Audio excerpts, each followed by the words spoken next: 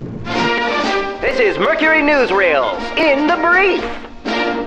Dateline, Kentucky, New Jersey, USA. It's November, so happy stoning season, everyone! That time of year when evangelical children find the biggest rocks they can to bludgeon blasphemers, pagan practitioners, people who buy those tiny water bottles for large events, and pool tablers. Jimmy Blumpkin of Kentucky just found a rock a bit too big for this stoning season. Sorry, son, this rock will have to wait for crushing season. Dateline, Little Italy, Italy. As women around the globe clamor and nag for equal rights, men scientists have graciously given up their afternoons by attempting to appease them by breaking the glass ceiling, supposedly holding females back. Even with the brutish power of a horse that was tamed by man, the conclusion was clear it was indestructible.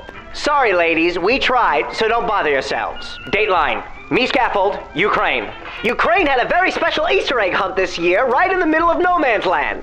Look at all those happy faces underneath the gas mask pretending like dead Ukrainian soldiers are Easter eggs. Plus, each Easter egg is chock full of additional holiday goodies. Teeth for the Tooth Fairy, scary face mask for Halloween, bones for Bone Day, and two Christmas stockings. If you remove the flesh burnt to the inside of the regulation wool socks. Happy holidays, boys, who are now forced to be men.